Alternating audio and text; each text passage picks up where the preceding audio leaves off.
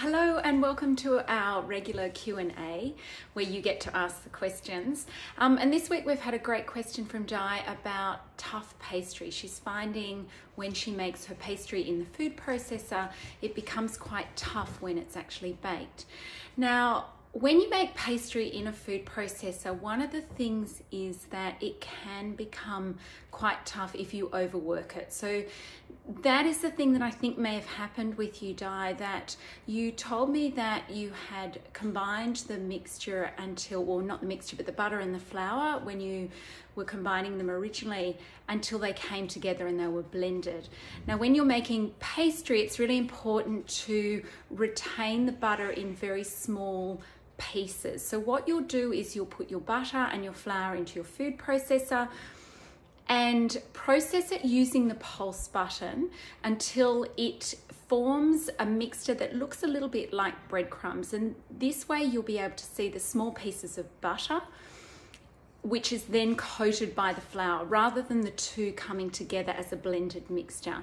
Once you get to this stage, that is um, when you're ready to add your water. And those pieces of butter are really important because when they go into the oven in your pastry, they will melt, they'll create steam, and that is what creates the flakiness in your pastry. So without those small pieces of butter, you won't get the flakiness in your short crust pastry.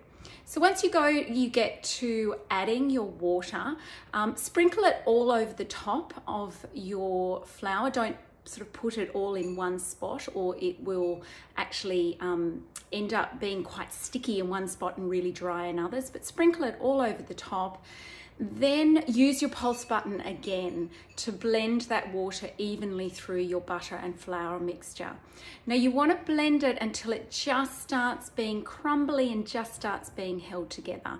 What you will find when you're making pastry in a food processor that you will use a little bit less water than if you're making it by hand.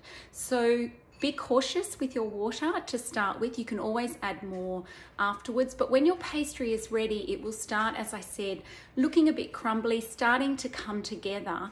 But when you press it between your fingers, it will start, um, it will hold together, but it will be soft, but it won't be sticky.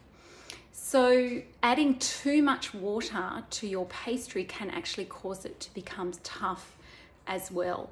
And the other thing that you want to be mindful of is not to process it until it comes together in a ball. Um, because this can actually overwork your pastry as well and again cause your pastry to become tough once you actually um, bake it. Di told me she did rest her pastry, which is a really great thing to do. Um, bring, turn the pastry or the mixture out onto your bench, bring it together with your hands, knead it lightly until it sort of comes together in kind of a, a rough, well, it'll start looking a little bit smooth, but won't be completely smooth. Because what I say is ugly pastry is good pastry. So you don't want smooth pastry because you're going to get rid of all those butter chunks again if you do do that. And if you knead it for too long, it will actually become tough as well. So bring it together in a disc, flatten it out, wrap it up, pop it in your fridge to rest for about 20 minutes to 30 minutes, depending on your recipe, and then it's ready to be rolled out and used.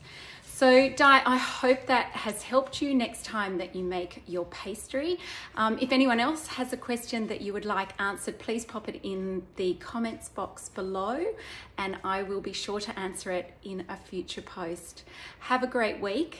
Have a great weekend because it's Friday now. Um, and I will see you very soon.